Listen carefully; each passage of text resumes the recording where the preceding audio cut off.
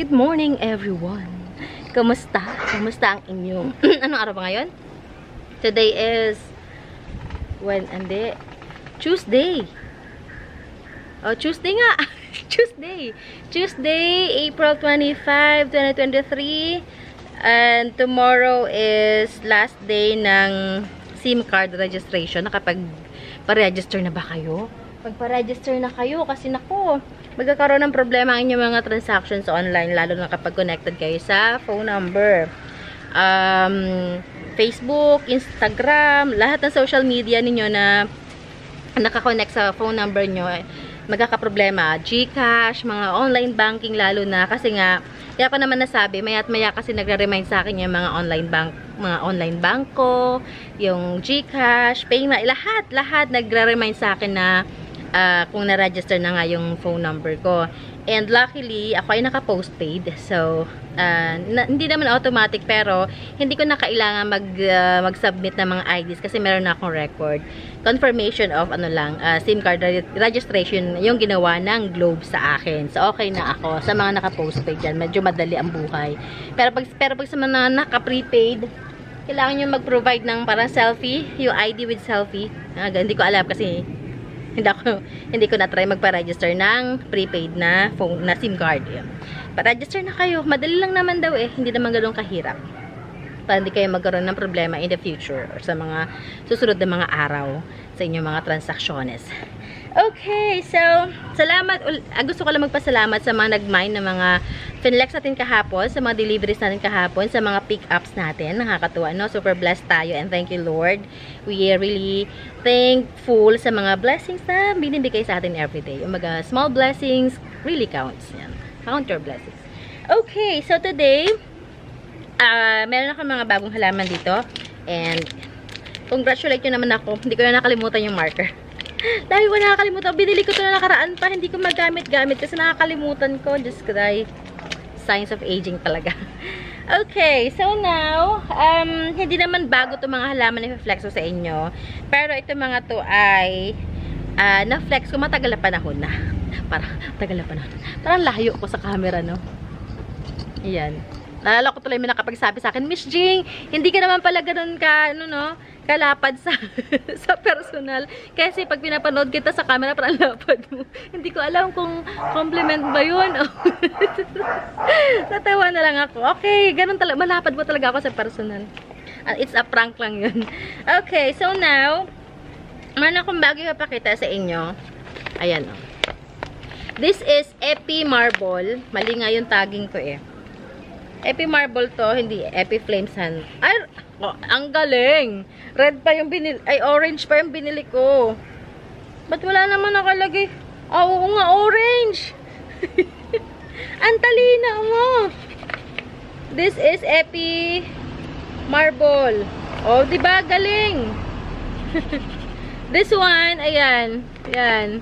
Bago to ha. Ngayon ko lang to finlex. Kasi, bahala, actually, bahala ko siya ipropa para mag-mature.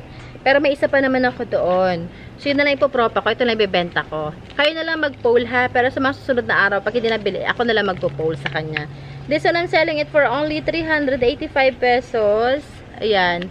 Kukunti lang may ganito. Epi Marble. Wala akong masyado nakikita.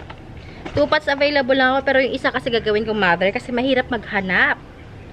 Hindi siya katulad ng mga Epi Albo na marami, marami ka makahanap. Pero si Epi Marble, parang to konti lang. O konti lang nakikita ko na meron ganyan. And ito, ito nandito sa harapan ko. Yan. Ito ay namay na, kaso lang kinancel. So, benta ulit natin. This one, I'm selling it for only 950. Good jeans yan, mga mare. Ganda. Ito yung pinakang bago yung dahon, oh. 950 lang ere ha. Hindi ko na babaguhin ang presyo. Yun pa din. And, teka, baba kita. Ay, may nabaga ako ano. Wala pa, no? Ah, mamaya ako magta-thumbnail. Okay. And, we have here, yung Epi Sunburst na mid-cut pero may suhi na. Yan. This one is for only 150 150 lang to si Sunburst na mid-cut. Nabenta ko na yung top cut nito. And, meron na tayong mid-cut dito na Royal Queen. Ang tagal! Ang tagal ko ng pinropa. Ito ngayon lang siya nagbigay na suhi, oh. This is Royal Queen. I'm selling this one for only 150 lang din. Mid-cut. Yan, ako lang nagpropa. Kayo na magpalaki sa kanya. Meron din ako ditong Epi Mint. Yan, Epi Mint. This is for only 100 pesos lang. 100 lang to si Mint. Epi Mint. Meron tayong mas malaki. Wait, papakita ko sa inyo. Mas, ah, aray ko. Yan. 100 lang to ha, Epi Mint. Ako lang nagpropa niyan eh. Susunod nga, ay, sobrang busy. Gusto ko mag, ano, magpropa ng mga maliliit. Kasi meron ako dyan. Mahilig kasi kami mag milk tea. At saka mag Starbucks. Mag kape-kape. So, inu inuuwi ko ito mga ganito. Tapos yan. Diyan ko tinatanim yung mga malilinggit lang. Pag nagpo-propa ako. Pero kasi, masyadong busy ang lola niya mga susunod na araw. At sa mga nakaraang araw, susunod na araw, hindi ko siya masikaso. Meron tayong big size. Ah, hindi naman siya ganun. Hindi siya large, pero big size na siya. And lush, trailing na naataba. Yan. This one, na, na na kasi yung budget nito. ah. This one, I'm selling it for only, this is 550. Sobrang, ano na to ha, trail. This is 550, ataba. Potted na siya sa white. Pwede siyang i-top cut o kung ano niyang gusto niyang gawin, ayan. Nalala ko dati ang nabili kong ataba. Unang-unang ataba ko, nab nabili ko ng 950. Siguro meron na siyang anim na dahon na limang dahon. Ayan. Ito, 550 lang to. Ilang dahon ito?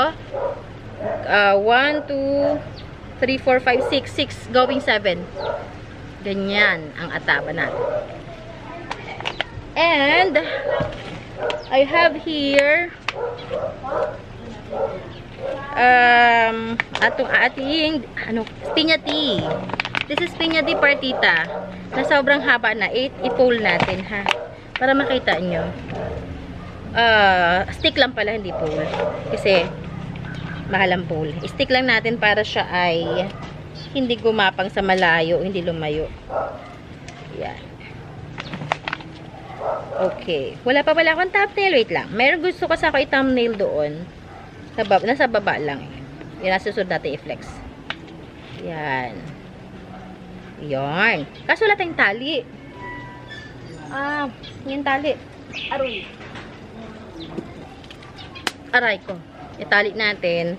Para hindi siya kalat. Kalat, kumakalat siya eh.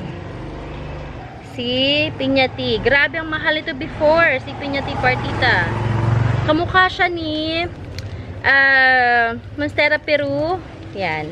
Mas distinct lang yung dahon ni Pinyati kasi mas makapal. At saka nagpe-fenestrate siya. As far as, far as I know ha, i-correct nyo ako mali ako. Si Pinyati is nag um, fenestrate, si Monstera Peru ay hindi. Okay. Yun ang alam ko ha. Itama nyo ako kung mali ako. Okay. Ito yung isang mint, yung malaki, malaking mint. Oh. Ito yon. Yan. Yan. This one I'm selling it for only, sige, this is for only 250 na lang to. Kasama na pool. 250 na lang to. Ako lang din yata nagpropa nito. Hindi ko maalala. Or, oh, ako lang nagpropa nito. Tama. Ayan o, nag, naghati-hati na yung mga, mga variegations niya. Ako lang nagpropa pala nito. Doon ko ito pinropa sa bote ng milk tea. Kasi yan, lumaki na sila ng lumaki. Okay, meron tayo dito mga dalawang aglaw lang pinili ko. Boxer. Boxer, this is for only 120. Boxer. Um, Eteros. Na meron dalawang baby. Ginakinain niya isang baby. Ganda pa rin ni Eta Rose, no? Kahit lumipas na yung kanilang kausuhan. This one I'm selling for only 200 lang to. May baby na siya dalawa. Si Eta Rose. And, yung uh, Deliciosa Croton. I'm selling this one for only 120 lang din. Deliciosa. Na kay Ma'am Edna na yung malaki nito. Ang laki no? Ganda. Yung nakapost ko sa ano, nakapost ko sa Facebook page natin. Ayun na. Bound to Taytay. Ando na, na-receive niya na. Ah, hinat. Okay. Last two parts na lang tayo. Last two pots. Okay. Ang ating Billy, yun na yung bago niyang dahon, oh. And go, mag maglalabas ulit siya ng panibago pang dahon ulit. Yan. Bili natin ng big size. This is big size ha. Malaki yan. This one, I'm selling it for only 1,350. Actually, binibenta ko before ito ng 1,700. Kaso lang, ano nangyari sa kanya? Uh, nagkasakit siya. So, nawala yung dalawang dahon. Tapos, pinaano ko lang, in-isolate ko muna siya. In-ICU ko muna siya. Ayan, nakabawi naman siya. Ayan. Ito na, last spot. Ang laki nito. Giant. Giant natin na. Ayan, Prince of Orange. Ito ang ating thumbnail. Eh, dito ko nga. Nakaharang ka naman kasi eh. Ganda, no?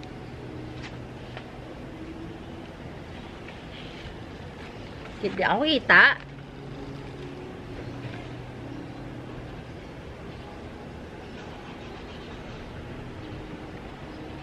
Ayun, okay na yan. Giant yan. Ayun, ang laki niyan. Mas malapad pa sa mukha ko ang dahon niya. Yan. This one, I'm selling it for only, ang kadang ibebenta. Si 850 na lang to. Kasi, ang next size ito is 550. Ito, 850.